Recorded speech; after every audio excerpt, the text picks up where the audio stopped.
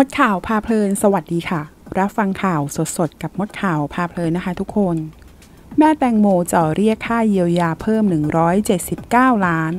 หลังพบเอกสารสำคัญของลูกสาว ยื่นขอสารบังคับจำเลยชดใช้เยียวยา 179 ล้าน คุณแม่แตงโมชี้พบหลักฐานจ้างงาน รายละเอียดบัญชีลูกสาว มีรายได้สูง จากเมื่อวันที่ 17 มีนาคมที่ผ่านมาอายการจังหวัดนนทบุรียื่นฟ้องสี่ผู้ต้องหา ได้แก่นายวิสาพัฒน์หรือว่าแซนมโนไมรัตนนานิทัศน์หรือจ๊อบกีรติสุทธิสาธรนางสาวอิสริน หรือว่ากติกจุธาสุขสวัสดิ์และนายพีมธรรมะธีระศรีหรือว่ากุญซือเอ็มหลังจากสี่ผู้ต้องหาให้การปฏิเสธ ส่วนนายตนุพัฒน์หรือปอเลิศทวีวิทย์แล้วก็นายไพบูลหรือว่าโรเบิร์ตตีการชนานันท์ จำเลยที่ 1-2 ได้รับสารภาพในชั้นศาลไปแล้วศาลมีคำสั่งให้ทางพนักงานอายการจังหวัดนนทบุรีทำการยื่นฟ้องสี่ผู้ต้องหาแยกออกจากสำนวนที่ผู้ต้องหา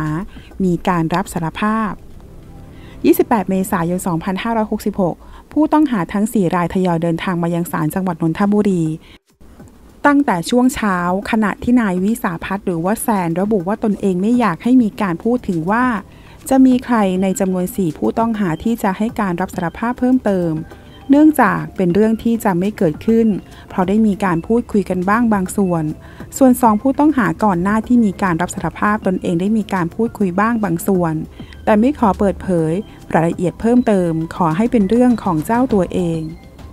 ทีมข่าวสอบถามทั้งคู่ว่ามีข้อมูลจากทางฝั่งคุณแม่ว่ามีสองจากสี่จำเลย มีการติดต่อไปหาคุณแม่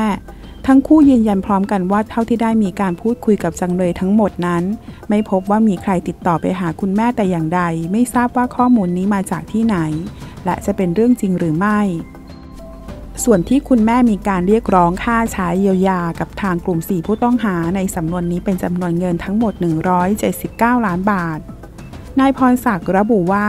บอกได้แต่เพียงว่าขนาดจำนวน 40 ล้าน ครั้งที่แล้วยังไม่ยอมรับ ครั้งนี้มีการเรียกถึง 179 ล้าน ซึ่งเป็นตัวเลขที่สูงถึงขั้น 3 หลักจึงไม่สามารถยอมรับได้ และจะต่อสู้ให้ถึงที่สุด และขณะที่สัมภาษณ์นายพรศักดิ์แล้วก็แซน คุณแม่พนิดาพร้อมด้วยนายชัยวัฒน์ได้เดินขึ้นศาลต่อหน้านายแซน โดยไม่มีการหยุดพักหรือว่ามองแต่อย่างใด ซึ่งเมื่อสอบถามวันนี้แซนต้องพบกับคุณแม่ ก็สามารถพบหน้ากันได้หรือไม่ แซนตอบเพียงสั้นๆ ว่าพบได้ และอยากให้คุณแม่ออกมาให้สัมภาษณ์พร้อมกันกับตนเองด้วยขอขอบคุณข้อมูลจากที่นี่ .com ค่ะ ถ้าเพื่อนๆชอบคลิปนี้ ฝากกดไลค์และกดกระดิ่งติดตาม เพื่อเป็นกำลังใจให้กับช่องมดข่าวพาเพลินด้วยนะคะ ขอบคุณค่ะ